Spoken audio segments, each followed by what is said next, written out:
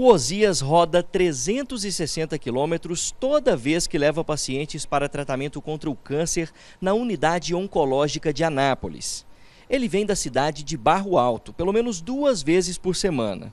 Como eu trabalho na área da saúde, a maioria, para não dizer todos, vem para o Hospital do Câncer. Então, é de suma importância um hospital desse para o município, até mesmo para a pessoa.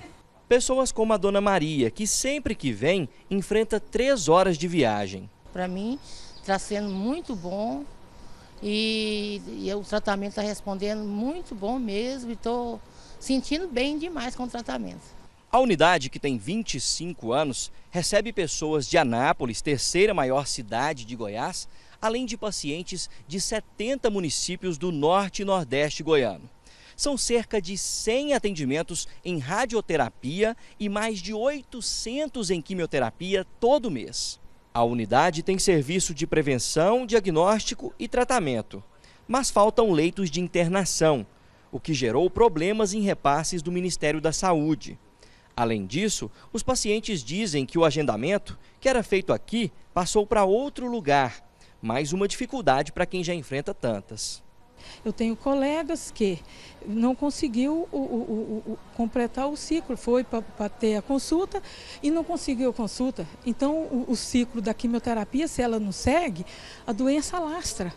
Você está entendendo? Então, esse é o medo da gente, igual eu agora, que eu vou ter que voltar para quimioterapia. Se esse hospital fecha, como que vai ser? O prefeito de Anápolis e a Associação de Combate ao Câncer de Goiás, responsável pela unidade, se reuniram para buscar soluções para estes problemas. A saída seria através ah, de uma parceria. A gente está utilizando eh, e remanejando os leitos que nós temos hoje no Hospital Municipal, de tal forma que a gente criaria, e nós vamos criar, um ambiente para que a Mauá Cavalcante possa é, num curto prazo de tempo, mas temos 24 meses para que isso aconteça, está realizando os procedimentos de quimioterapia é, dentro de um espaço, dentro de um hospital que vai ser viabilizado através dessa parceria Mauá e Prefeitura Municipal de Anápolis. O atendimento na unidade não vai parar. Em nenhum momento foi intenção fechar. Nós já viemos aqui há 25 anos para prestar um serviço que a população carente, principalmente a mais carente, necessitava e continuamos com a mesma intenção.